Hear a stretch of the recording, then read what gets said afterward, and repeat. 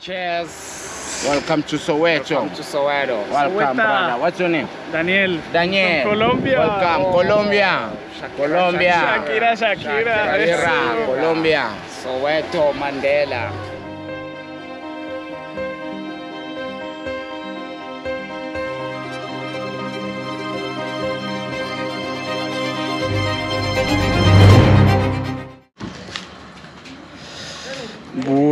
Estoy echando mano a la motico. He estado trabajando en la motico toda la mañana. Eh, aunque ahorita voy a ir a comer con un parcero, entonces yo creo que me va a tocar medio cerrarle y llevármela así. Entonces, líquido de freno, refrigerante, las pastillas están bien, las llantas están bien, eh, los rodamientos están bien. Entonces, no, ya estamos preparados pero me hace falta comprar unas herramientas y unas pastillas para la malaria. Entonces eso lo voy a hacer antes de irme de acá. Y la herramienta que necesito es un extensor de de la 10 porque esta moto utiliza mucho el 8 y el 10. Necesito el extensor de 8 y de 10. Ay, este tal vez me sirva. Qué huevo. Este me sirve, parce. Buah. Toca montar toda la moto. Yo creo que estos cambios se los voy a hacer por allá en Namibia. En un tallercito. Porque es que también el freno, el líquido del freno, para purgar los frenos, uno necesita una manguerita. Entonces esa manguerita tampoco la tengo. Y esa man- manguerita pues evita que uno llene de líquido de freno el, caliper y las pastillas y todo. Y esto no es un taller, no quiero ensuciar acá el piso y todo eso. Pero bueno. No hay afán.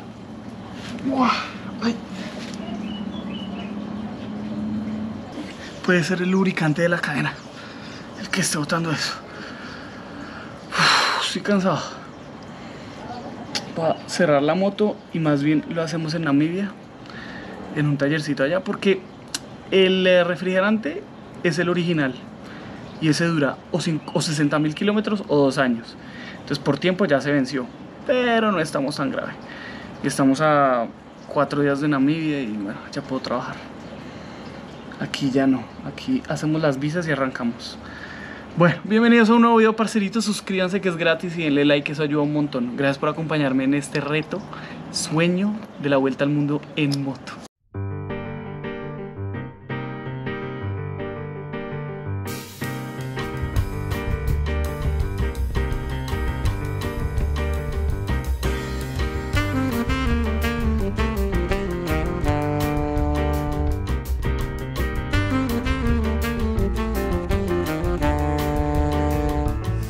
Antes de terminar de hacer lo de las visas y todo, les quiero presentar un parcero que conocí aquí que lleva viviendo como 7, 8 años. Ah, no, ya llevas 11, 14. 14. 14 años viviendo un colombiano que es este parcero Juan Carlos, parcerito. ¿Qué tal, hombre? ¿Bien ¿Todo o no? Bien, mi hermanito. Por allá está la mozzarella esperando y aquí estoy con el parcero que me ha narrado mucho de lo que es la cultura sudafricana y hemos, hemos estado de acuerdo con que la cultura vial es espectacular. El hecho de que los camioneros lo dejen pasar a uno y lo saluden es lo máximo. Y los semáforos dañados con el cuatro pare es lo máximo. Entonces decidió invitarme a un jugo de cebada y una pizza, entonces muy agradecido contigo. No, mi pues lo mejor del mundo que esté haciendo ese viaje. eh, ojalá que todas las cosas sigan saliendo bien y cuando tenga más tiempo, pásese por acá, quédese por acá un tiempo más que la va a pasar mucho mejor. Eh, y por ahora, pues algo de energía para el viaje. Mucho crack. Entonces sí, gente chévere que vamos conociendo. Ya conocimos a los parceros de la Embajada de Colombia, ahora conociendo aquí al parcerito. Este man lo conocí gracias a Metal Traveler, un metalero que ha viajado casi todos los, casi todos los países del mundo. Todos. Entonces, gracias parcero por esta recomendación. Andrés, aquí le prometimos la cerveza y la pizza, pues aquí está. Saludos. Firme, parcerito, un abrazo grande. Qué crack, güey.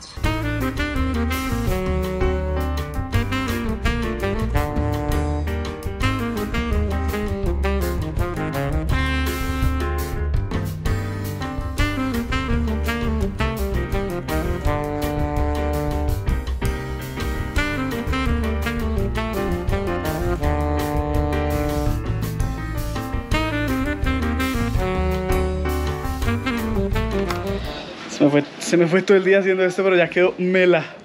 Y miren, se ve súper poderosa con esas llantas, ¿no? Vamos, moza. Ya estamos listos para salir. Solo ponerle las laterales y arrancamos. Esa trasera está bien poderosa. Ahora sí, nos fuimos, parceros. Pero primero, conozcamos algo muy bonito aquí en Johannesburgo. Estamos bien cargados con la mozzarella y esas llantas. Pero hoy estamos de turistas. Vinimos a conocer algo que he querido conocer desde hace mucho rato. Como ustedes saben, y o bueno, históricamente, bueno, ni siquiera puedo decir históricamente, prehistóricamente, o en la historia de la humanidad, nacimos como seres humanos acá en África, en el sur de África. Y ya visitamos las cuevas Kangu Cave, que quedan allá en el sur de Sudáfrica. Y hoy vamos a conocer un museo que se llama Cradle of Humankind, o sea, la cuna de la humanidad. Y en la cuna de la humanidad vamos a poder ver un poquito de lo que fue esos inicios tan interesantes de nosotros como seres humanos, de todos nuestros descendientes. Como todos los videos, vamos a iniciar este con el agradecimiento a Dios, a mi mamita, a mi familia y a Enderson Garcés Fernández, a David Flautero, Andrés Cuellar Leguizamón, Jaime Marín, Juan Pablo Montoya Lopera y Guillermo Figueroa. Parceritos, muchas gracias porque es gracias a ustedes que yo estoy aquí en África. Uy, llegamos, eso fue rápido. Se llama Maropeng. Welcome, discover, explore, imagine, celebrate, experience. Así que bienvenidos parceritos a un video bastante turístico por lo último que nos queda aquí en Sudáfrica.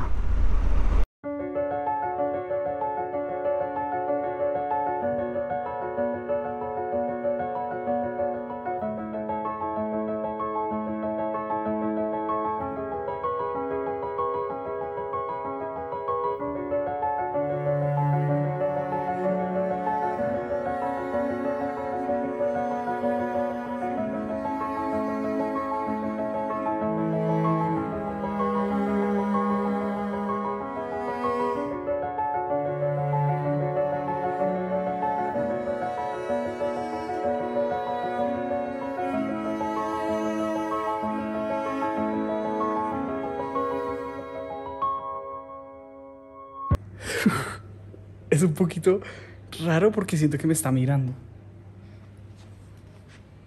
Uy, puchas, increíble que estos eran humanos. Pero miren. Ahorita estaba parado acá, ¿cierto? Esperen, estaba como parado aquí. Ay, parece ese man se está moviendo. Esos ojos se mueven. ¿Soy yo o me está mirando de frente? No, parece la madre que esos ojos se mueven. Ya les cuento un poquito sobre la historia, pero wow. Y son restos reales, o sea, los huesos que estábamos viendo allá son, son los que han encontrado del Australopithecus, que dicen que era imposible y desde el 2008 empezaron a encontrar un montón de huesos. Miren. Entonces hablan que, a ver, seguimos con la gran incógnita del eslabón perdido. ¿Qué es el eslabón perdido? Pues ese puente que nos separa de- del ser humano, del Homo sapiens sapiens, a los monos, que no, aún no se ha descubierto ese eslabón, pero todo parece indicar que venimos de los monos por estos parceros, precisamente. Y después de los videos sobre el racismo, sobre todas las, personas y todo lo que está en la mente, me encanta leer esto. Las poblaciones de los seres humanos empezaron a aparecer en diferentes colores, tamaños del cuerpo, proporciones de brazos y piernas, textura del pelo y otros atributos físicos. Pero debajo de la superficie todos somos virtualmente iguales. No existe frontera genética para la raza. Somos una especie. Qué mágico leer eso aquí.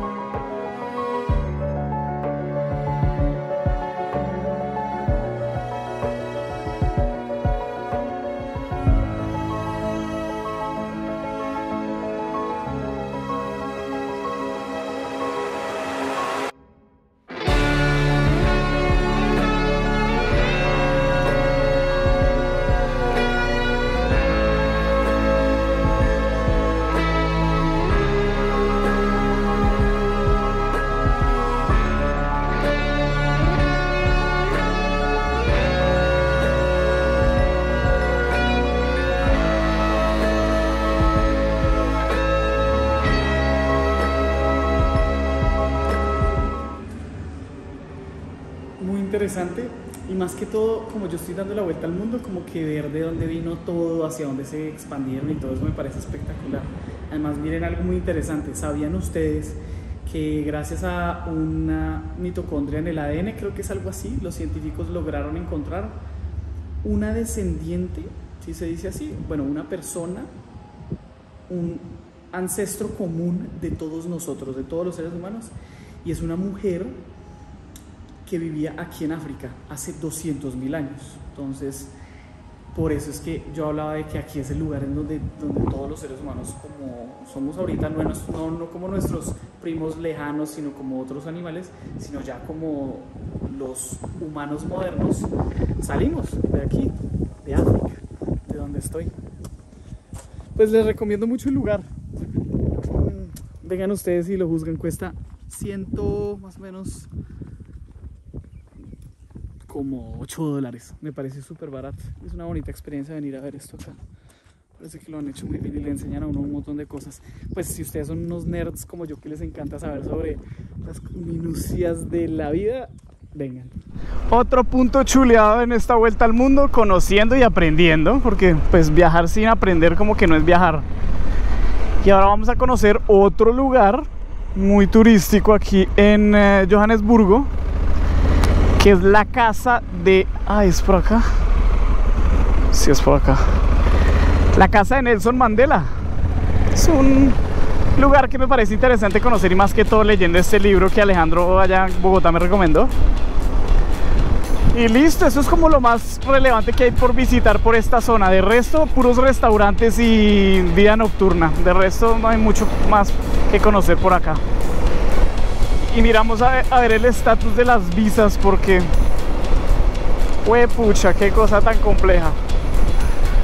Pero bueno, estamos conociendo el mundo y disfrutando de la vida, parceritos. Bótense ahí un like bien bacano y suscríbanse si no están suscritos. Seguimos viajando por el mundo.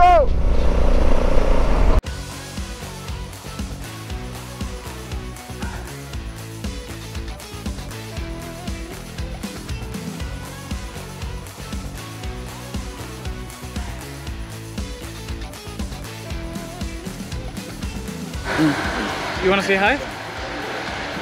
Cheers. Welcome to Soweto. Welcome to Soweto. Welcome, Soweto. brother. What's your name? Daniel. Daniel. From Colombia. Welcome, Oh. Colombia.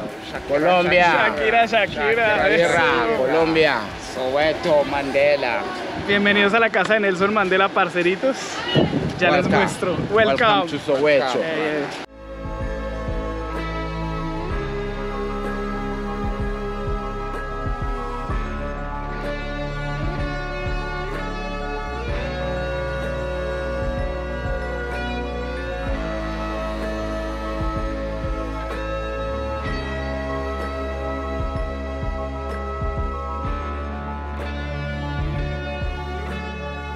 muy difícil poner en palabras o en videos todo lo que yo conozco cuando viajo.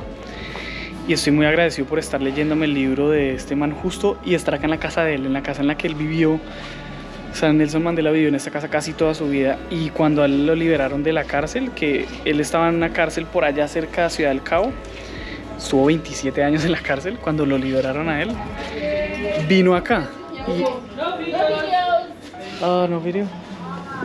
Bueno, no me dejaron filmar allá adentro. Pues no sé, pero ahí tomé foticos y todo. Pero lo que les estaba contando es que me parece increíble estar leyéndome el libro de Nelson Mandela y estar acá, en la casa de él.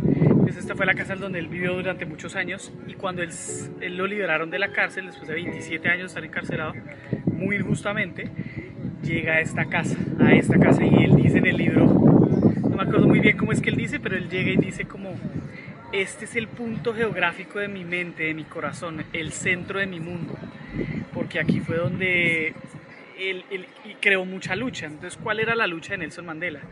Evitar el apartheid, o sea, evitar la injusticia hacia, y la segregación hacia los negros.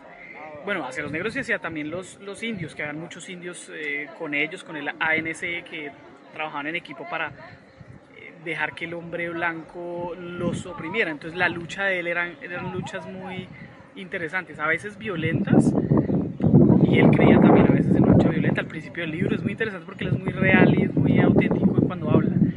Y él también, entonces por ejemplo la lucha que eh, él aquí quema un, un cosito de paz, una libreta que él tenía que llevar con él para decir voy a llegar a tal lugar. Entonces le tocaba andar con una libreta en donde le autorizaban caminar por cierta zona. Y él la quema acá. Y cuando él la quema, cuando la incendia, pues se hace una revuelta gigante. Eh, encarcelan como a mil personas, incluyéndolo a él y a Winnie. Entonces las luchas de él eran luchas en donde me opongo y hago lo que está mal para demostrar que no estoy de acuerdo. Entonces, por ejemplo, no me dejan subir en los buses de los blancos, pues me subo en, el en, los buses de los blancos. No me dejan caminar por cierta zona, pues camino por cierta zona. No me dejan manejar carros, pues manejo carros. ¿Sí me hago entender? Entonces, claro, eso era en contra de la ley y él hacía eso sabiendo que tenía que ir a la cárcel y sabiendo que tenía que, que pagar condena porque esa era su lucha. Entonces, muy interesante estar aquí en, en, esta casa. Es algo histórico y me parece muy bonito. Eso es otro, otra de esas cosas que yo digo, parce, ya me estoy volviendo viejo porque disfruto de viajar el mundo y conocer estas cositas. Y yo sé que esto no vende mucho en YouTube, pero los que les gusta, pues ya me dirán, parce.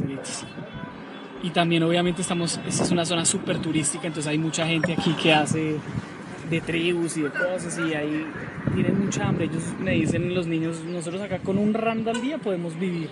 Un rand al día son como 20 centavos de dólar, es increíble.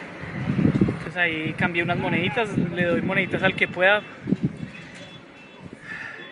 A ver, no sé, no sé qué opinen, pero es que regalar plata no es una solución, es alimentar la mendicidad, no está tan bueno porque se acostumbra a la gente en vez de trabajar a, pedir plata, pero también le duele a uno ver personas como aguantando y no saber qué más hacer y pues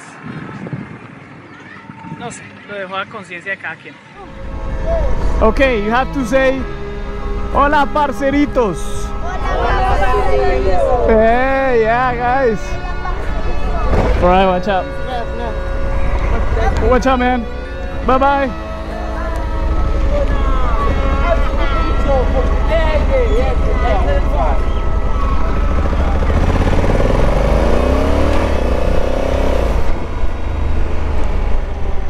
Qué gente tan linda, parce. De verdad espectacular. Claro, se asombran pues por la moto y que uno sea de Colombia y todo. Todos están buscando unos centavos de una plata y a veces uno no sabe si es verdad o es mentira, pero uno le duele el corazón y ya hay repartir plata como un putos. Ya hicimos lo turístico y ahora me invitaron a comer a una casa. Me toca bajar por allá y coger para allá para despedirme de Sudáfrica, muy queridos. Entonces, fue pucha, es que esto de manejar al lado izquierdo a veces lo confunde uno resto. Más que todos los giros a la derecha. Listo, Soweto. Vamos por acá.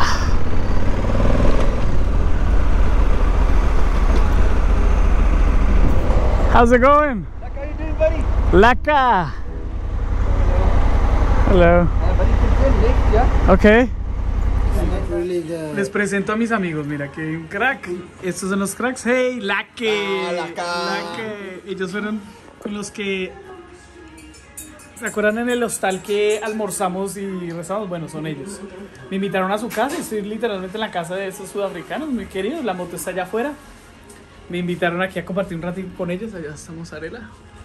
Y estamos aquí compartiendo y me están dando a probar algo que es muy típico sudafricano, que pues obviamente está en todo el mundo, pero aquí tienen sus particularidades. ¿Qué es esto? What's it called? Biltong. Biltong sticks. Biltong sticks, and it's just beef, dried beef. Dried beef. with spices on it, you know, that's why it tastes. And you can, en cualquier carnicería uno puede parar y pide esto. Esto es literalmente carne deshidratada. Lo hay en todo lado. Pero está increíble. Entonces me encanta porque viajar con esto es muy chévere porque esto dura un montón. Pero estoy sorprendido por el sabor tan vivo que tiene. Entonces ellos acostumbran with- a a tomar con cerveza. que va con cerveza siempre. Es muy rico. Vaya danke. Nos despedimos con amigos acá. Ay, ellos van para Colombia. You guys are going to Colombia, right? Definitely. Sí, van a ir a visitar Colombia. Ya estuvieron mirando en internet Cartagena, Medellín. Quieren ir allá a conocer. Quieren conocer Venezuela. Quieren conocer México. Pero ya saben que van para Colombia. Entonces aquí estoy yo creando amigos por el mundo para que vayan y conozcan nuestras hermosas tierras.